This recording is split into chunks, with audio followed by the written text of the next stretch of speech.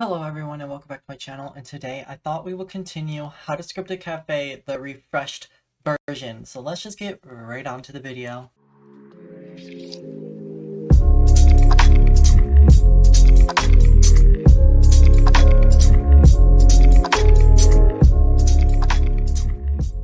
So today we're going to be doing a basic rank script because what I like to do when I'm scripting these kind of games like hotels or cafes, I like to start with the basics, like, you know, getting the um, scripting done. So last part we did the rank door. So if you guys have that done, then you guys can move on to this part or completely do it out of order. I don't care, but today we're going to do the rank script, so the rank leaderboard. So we have to get the leaderboard set up. So the first thing that we want to do when we're getting the rank leaderboard set up is we want to locate our server script service. So in server script service, you're going to insert a script, okay? And you can name it whatever you want, but I'm going to name it rank leaderboard. Okay. So now when you open this up, you want to start by getting a function. So game.players, no, not game.parent. So game.players dot player added connect function oops my caps lock is on. Player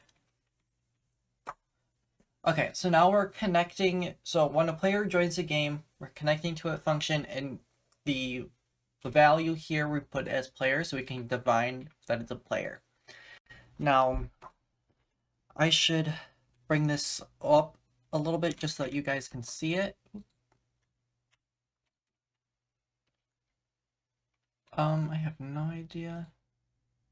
Oh, because I did. It's not Windows button plus, okay. Okay, so that should be good enough. So then now what we want to do is we want to define the leader stats, the local leader stats equals instance dot new and we'll name this as an int value.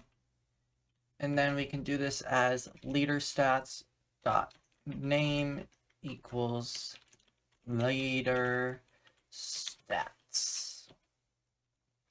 And then we want to input the value, so leader stats dot value. It's always going to equal zero. Now we defined where our leader stats are going to go. So now we're going to do local rank equals instance dot new string value. So the reason why we use a string value is because that's how we can input words into a value. So then we want to do rank dot oops rank dot name equals rank. Now the we're, we're going to do the rank dot value. So now first we want to get the player. And we want to get their role in a group. So get role in group. So this will get the name like chairman, um, vice versa, guest, customer, whatever you have. And you just want to get your um, your ID. So basically the ID would kind of be like HTTPS um, www.roblox.com slash groups slash one two three four slash group. So these string of numbers right here will be your your ID. So let me just grab my ID from my group. And then so once you have this in here, I'm going to comments and change this to your group ID. Now we want to do leader stats dot parent equals player and then rank dot parent equals leader stats. Now that we've defined the rank as a string value. We named it rank.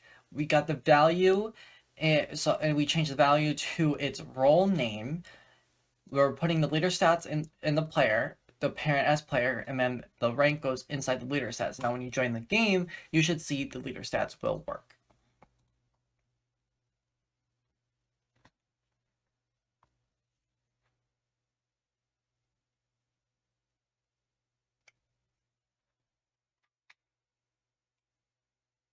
And there you go. You have your leader stats and they are working.